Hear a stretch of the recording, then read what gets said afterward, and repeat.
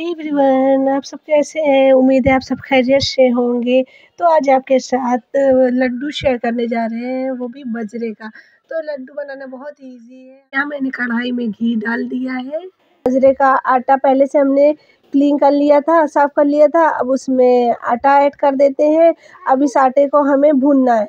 तो हमें इतना भूनना है कि इसकी खुशबू आने लगे तब तक। तो यहाँ हमें लग रहा है थोड़ा घी कम है तो थोड़ा और घी ऐड कर देते हैं। तो यहाँ हमने थोड़ा और घी ऐड कर दिया। और बजरे का आटा थोड़ा घी ज़्यादा लेता है तो ध्यान रखिएगा, थोड़ा घी ज़्यादा रखिएगा, जिससे लड्डू बनाने में हमें दिक्कत नहीं होगी। तो यहाँ हमारा आटा बस भून कर रेडी होने वाला है। अब इसे एक ट्रे में निकाल लेते हैं, यहाँ भून गया है। तो यहाँ हमने एक ट्रे में इसे निकाल लिया है। अब सेकेंड प्रोसेस के लिए हमने गुड़ पहले से ही तोड़ लिया था छोटे छोटे टुकड़े में, और कढ़ाई रख दिया हुआ है।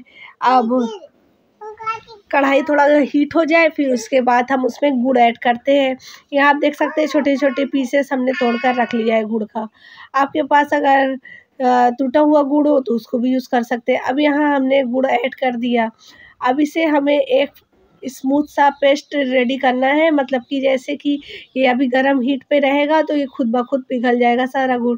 अब यहाँ बस गुड़ पिघलने वाला है, बस थोड़ा सा और इसे चलाते हैं। यहाँ देख रहे हैं आप, बिल्कुल ऐसे ही हमें स्मूथ पेस्ट चाहिए, कहीं भी जमा हुआ ना हो। फिर उसके बाद यहाँ हमने बजरे के आटे में थोड़ा सा ड्राई फ्रूट्स ऐड किया और गुड़ ठंडा हो गया था। अब इसे अच्छे से हैंड से मिला लेते हैं। अच्छी तरीके से गुड़ को आटे में अच्छे से मिक्स कर लेते हैं। मिक्स होने के बाद यहाँ एक बॉल्स तैयार करते हैं। हमारे बॉल्स बनकर रहे रेडी हो गया है तो धीरे धीरे करते करते हमने सारे बॉल्स रेडी कर लिए। अब इसके ऊपर कुछ सजाना है डेकोरेट करना है तो अब चलते हैं डेकोरेट करने के लिए। तो यहाँ ड्राई फ्रूट्स हमने ले लिया, ऊपर से एक ड्राई फ्रूट्स कट करके लगा दिया है।